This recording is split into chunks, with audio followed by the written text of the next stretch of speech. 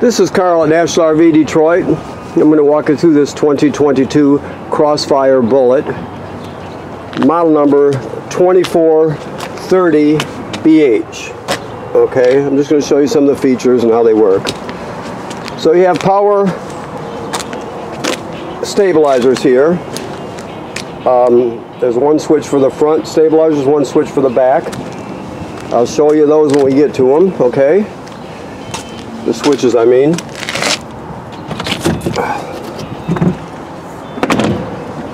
You have a refrigerator and some a service to work on. Power, of course. Um, you have a power awning with LED strip plus outside speakers. This is your water heater. Right now it's empty because it's winterized. It's bypassed and it's empty. Um, this works on both gas and electric. I'll show you the switches when we get inside, okay? Always make sure there's water in the water heater tank before you turn it on. Okay, so right now, like I said, it's bypassed and empty. All right. Here we have some storage.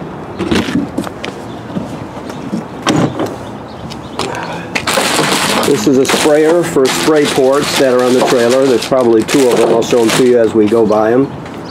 Uh, now this, this here, this crank here, you can go to the off door side, uh, to the stabilizers on the off door side, and you'll see a shaft with a pin through it. You can actually crank the stabilizers manually if you have to to get yourself out of it out of trouble. Okay, so there's um, a way to get them up and down even without power.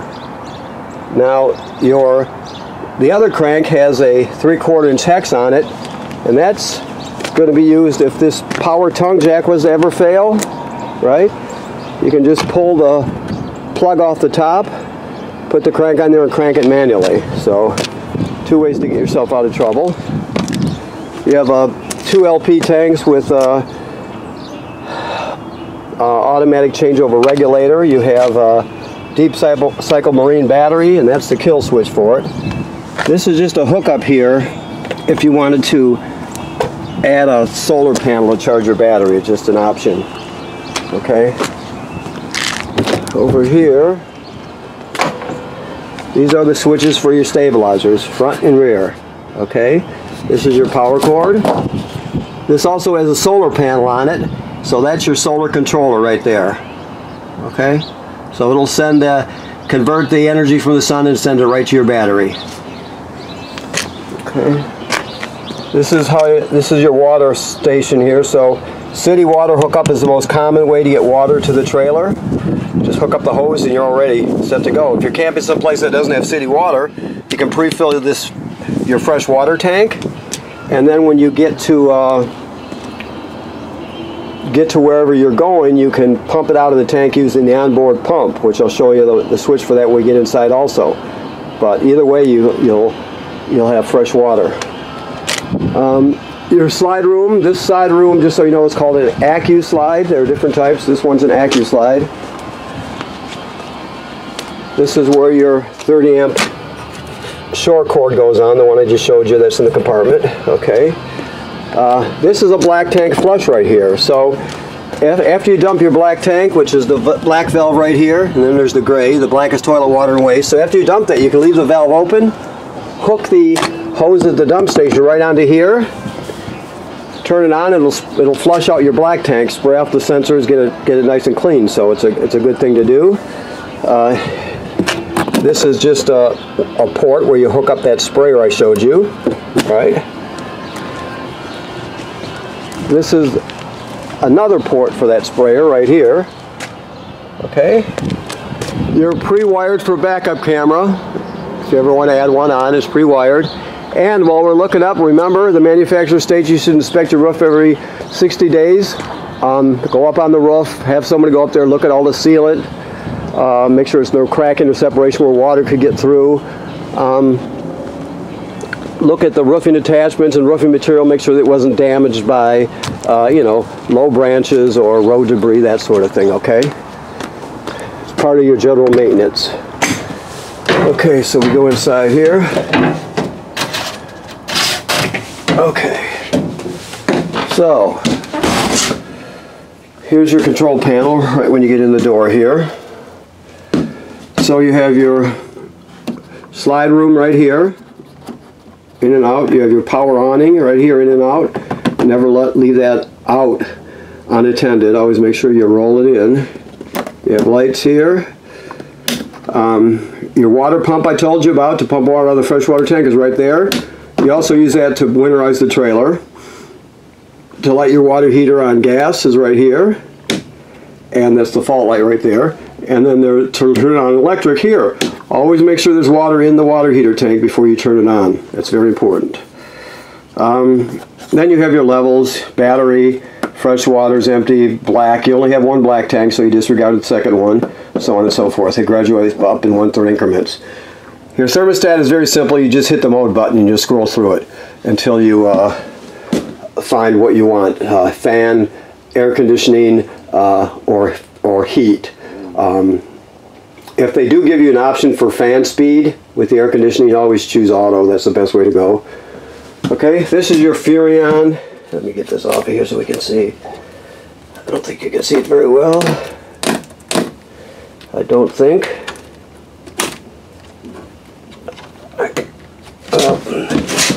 Maybe I'm just gonna just talk over it because I don't, I didn't bring anything to break that loose with, so. Anyways, you'll have to take my word for it as I describe it to you at this point. Um, We'll get that off for you later. You can take it off when you're ready, whatever. But it has AM FM radio. It has Bluetooth. So you stream from your you know, phone or tablets. It has a USB drive, so you can put your uh, USB stick right in there with all your albums on it, whatever, take them with you. HDMI in, in case you want to go into the system with a, you know, like a portable Blu-ray player or something. And um, also it has two speaker zones uh, one and two. Uh, one is inside the trailer, two is outside the trailer, okay? So it does everything you need. Of course, your TV would go here, and here's the, it's got a mounting plate bracket for it, so you can hang a swing out bracket on it. Um, okay, let's move on to